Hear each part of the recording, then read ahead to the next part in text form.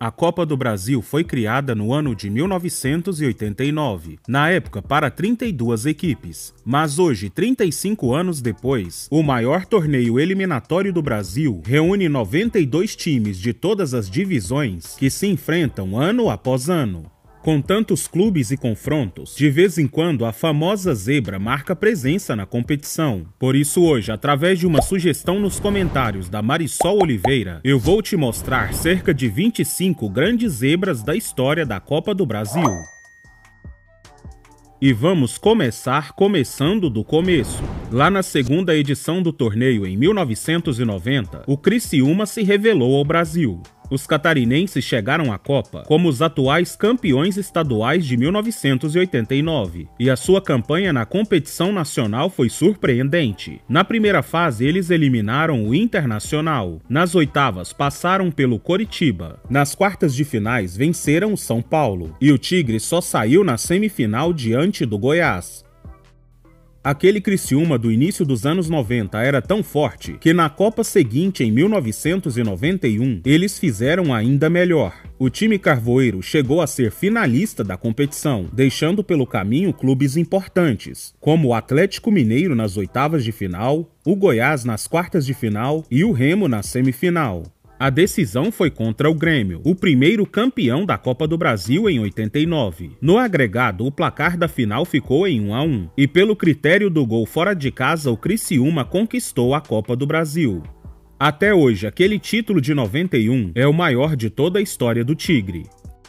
Vamos pular para a quinta edição em 1993, quando quem chamou a atenção foi o Londrina Esporte Clube. O Tubarão entrou no torneio como último campeão paranaense de 92, e a equipe foi avançando pela Copa do Brasil. Na primeira fase, os paranaenses passaram pelo Operário do Mato Grosso do Sul, e nas oitavas eles conseguiram eliminar o Internacional, que era simplesmente o atual campeão da competição. O sonho londrinense só acabou nas quartas de final, quando perderam a classificação para o Flamengo. E até hoje, esta foi a melhor campanha do Londrina na Copa do Brasil.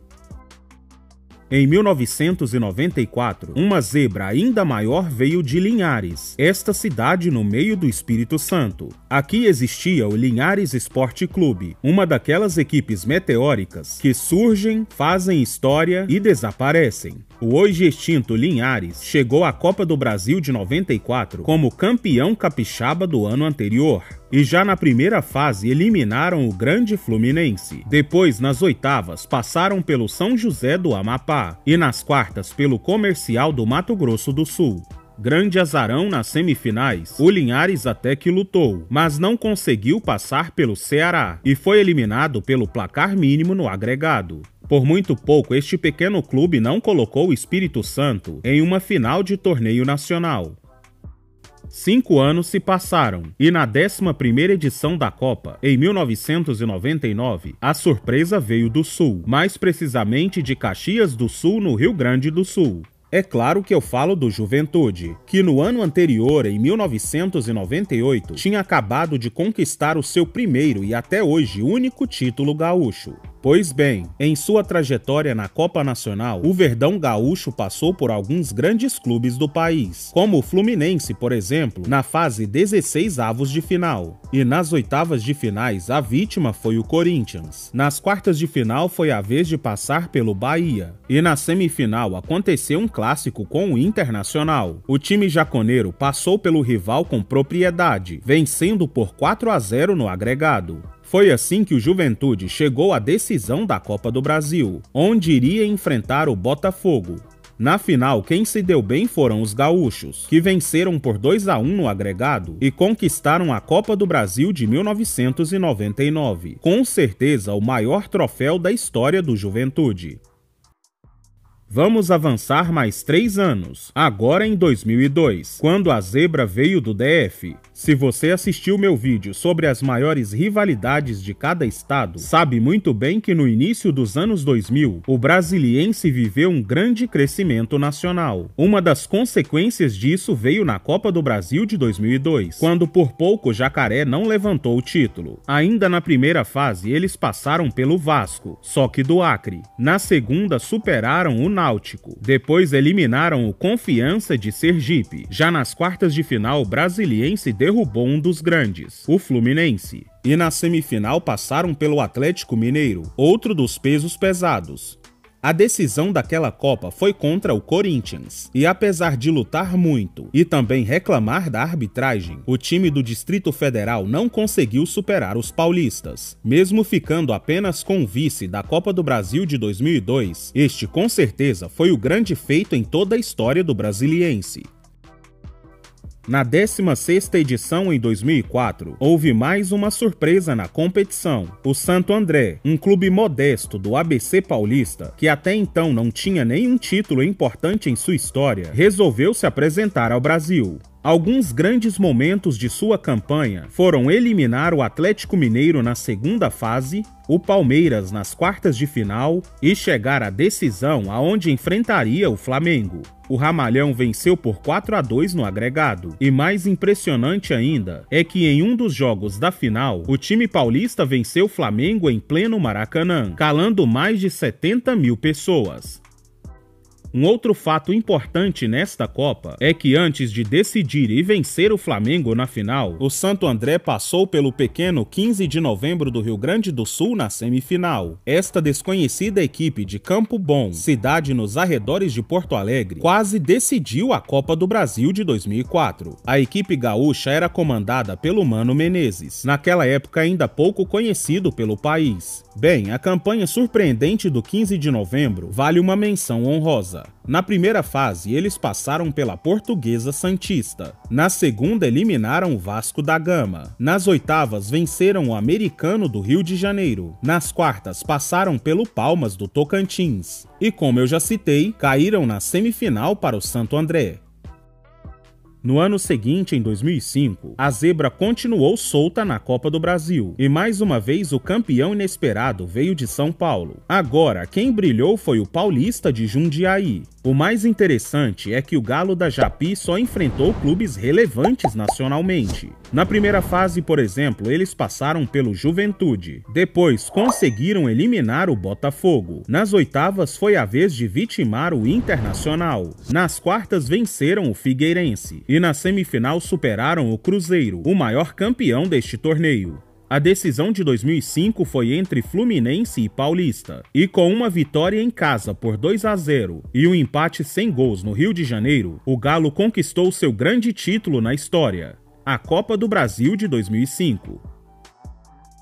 A edição seguinte, em 2006, não teve uma final alternativa. Desta vez, Flamengo e Vasco disputaram o título. Mas isso não quer dizer que não houve surpresas. Desta vez, ela veio de Ipatinga, uma cidade no interior de Minas Gerais. A equipe local é o Ipatinga Futebol Clube, que naquele período viveu uma ascensão histórica no futebol. No ano anterior, por exemplo, em 2005, a equipe venceu seu primeiro e único campeonato mineiro. E olha que foi em cima do Cruzeiro. Cruzeiro. Já na Copa do Brasil de 2006, o Tigre de Aço deixou para trás o Serra do Espírito Santo, o Botafogo na segunda fase, o Náutico nas oitavas de final e o Santos nas quartas de final. O Ipatinga só parou na semifinal diante do Flamengo, e foi por muito pouco. A boa fase dos mineiros continuou por alguns anos. Em 2007, por exemplo, eles foram vice-campeões da Série B e chegaram a participar da elite do Brasileirão em 2008. Como eu acabei de falar, o Ipatinga vivia uma grande ascensão naquele tempo, e na edição seguinte da Copa do Brasil em 2007, os mineiros surpreenderam mais uma vez, chegando até as quartas de final. Desta vez, os principais clubes que o quadricolor eliminou foi o Palmeiras na segunda fase e o Sport nas oitavas de final. Por incrível que pareça, sua queda nas quartas de final foi para o Brasiliense. Aliás, o Jacaré é a segunda zebra de 2007. Antes do Ipatinga, a equipe do Distrito Federal conseguiu eliminar até o Cruzeiro nas oitavas de final. E só pararam na semifinal para o Fluminense. E falando de Fluminense, o adversário do tricolor na decisão foi o Figueirense, a terceira surpresa deste ano. Na final, o Fluminense buscava o seu primeiro título de Copa do Brasil, enquanto o Figueira queria o primeiro troféu nacional de sua história. O Furacão do Estreito até tentou, mas perdeu por 2 a 1 no agregado e ficou apenas com o vice-campeonato da Copa do Brasil. Vamos avançar mais três anos para falar da 22ª edição em 2010, o ano em que o Brasil começou a conhecer o promissor Atlético Goianiense. Hoje o Dragão é frequentador recorrente da Série B e até da Série A, mas naquele tempo o rubro-negro goiano estava renascendo das cinzas. A equipe mais antiga de Goiânia estava quase extinta desde os anos 90, e a partir de 2006 começou uma grande reconstrução. Em 2009, por exemplo, o Atlético tinha acabado de subir para a Série A do Brasileirão pela primeira vez na era dos pontos corridos. E na Copa do Brasil de 2010, por pouco o rubro-negro não chegou à primeira decisão. O Atlético passou pelo Açu do Rio Grande do Norte na primeira fase. Depois eliminou Bahia na segunda. E nas oitavas superou Santa Cruz. Nas quartas de finais, o Atlético conseguiu eliminar o Palmeiras. O clube goianiense só parou na semifinal diante do Vitória. Chegar à semifinal foi um feito enorme para um clube que tinha renascido há menos de cinco anos. No ano seguinte, em 2011, quem surpreendeu foi o outro time importante de Florianópolis, o Havaí Futebol Clube, que apesar de ser uma equipe tradicional, não tem grandes conquistas nacionais. Por isso, sua trajetória nesta Copa do Brasil foi impressionante. Na campanha havaiana, eles chegaram a eliminar grandes times, como o Botafogo nas oitavas de final e o São Paulo nas quartas de final. O Havaí encerrou a sua participação na semifinal, quando foi derrotado pelo Vasco. Além destas campanhas e trajetórias inesperadas, a Copa do Brasil também sempre contou com eliminações precoces e surpreendentes de times tradicionais. Então vamos fazer um passeio pelo país, mostrando alguns lugares onde a zebra se fez presente. Em 2002, por exemplo, o poderoso Palmeiras de Luxemburgo, Marcos, Alex e companhia foram até a cidade de Arapiraca, no interior de Alagoas, enfrentar o Asa. Bem, os alagoanos venceram a partida por 1 a 0 e na volta lá no antigo Parque Antártica em São Paulo, eles perderam por 2 a 1. Graças ao critério do gol fora de casa, o Fantasma de Alagoas conseguiu eliminar o Palmeiras dentro da própria casa alviverde. Aliás, o Asa de Arapiraca é um dos maiores algozes de times tradicionais. Além do Palmeiras em 2002, o Asa também eliminou o Ceará na segunda fase de 2013, o Vitória em 2015 também pela segunda fase e o Coritiba na segunda fase de 2017. Na já mencionada grande campanha do 15 de novembro em 2004, o clube gaúcho não só enfrentou como também passou por cima do Vasco da Gama, vencendo por 4 a 1 no agregado. Aliás, esta classificação veio com direito a uma goleada por 3 a 0 em pleno estádio São Januário. Ainda falando do Vasco, no ano seguinte, em 2005, o clube foi até a cidade de Mossoró, no Rio Grande do Norte, enfrentar o desconhecido Baraunas, em jogo válido pelas oitavas de final. Lá em Mossoró, os cariocas apenas empataram com o Baraunas. E como se não bastasse, parece que o Vasco de Alex Dias e Romário não aprendeu a lição do ano anterior e repetiu o vexame de 2004. Mais uma vez, o gigante da colina levou 3 a 0 no São Januário. Por fim, uma outra eliminação precoce do Vasco veio 17 anos depois, na Copa do Brasil de 2022, quando os cariocas foram até Juazeiro, na Bahia, para enfrentar o Juazeirense. O Vasco, apesar de empatar no tempo normal em 1 a 1, conseguiu ser eliminado nos pênaltis. A zebra também se fez presente na cidade de Aparecida de Goiânia, na região metropolitana da capital Goiânia. Aqui a equipe da Aparecidense aprontou duas vezes. A primeira foi em 2016, quando o Camaleão pegou o Sport Recife e venceu os dois jogos contra os pernambucanos, eliminando o rubro-negro ainda na primeira fase. Dois anos depois, em 2018, foi a vez dos goianos aprontarem para cima do Botafogo. Também na primeira fase, a Aparecidense derrotou o Fogão por 2 a 1 em partida única, e assim mandou o Alvinegro mais cedo para casa. Em 2020 foi a vez do Atlético Mineiro ir até Afogados da Ingazeira, uma cidade no Pernambuco. Lá eles iriam enfrentar uma equipe chamada Afogados, em jogo válido pela segunda fase da competição. O tricolor de Pernambuco não teve medo do Galo e arrancou um empate no tempo normal. E nos pênaltis eles conseguiram eliminar um dos grandes de Minas Gerais. Como um bom rival, o Cruzeiro não poderia ficar para trás. Talvez por isso, no ano seguinte, em 2021, o time celeste enfrentou o já conhecido Juazeirense pela terceira fase da Copa do Brasil. E o Cruzeiro fez semelhante ao seu rival, empatou no placar agregado e foi eliminado nos pênaltis. Muitas outras zebras aconteceram na Copa do Brasil. Neste mesmo ano, em 2021, o Palmeiras também caiu na terceira fase para o CRB de Alagoas, enquanto o Goiás, por exemplo, caiu ainda na primeira fase para o pequeno Boa Vista do Rio de Janeiro. No ano de 2022, o Internacional conseguiu ser eliminado na primeira fase pelo desconhecido Globo do Rio Grande do Norte. E por fim, em 2024, o Cruzeiro sofreu outra desclassificação precoce, agora para o Souza da Paraíba.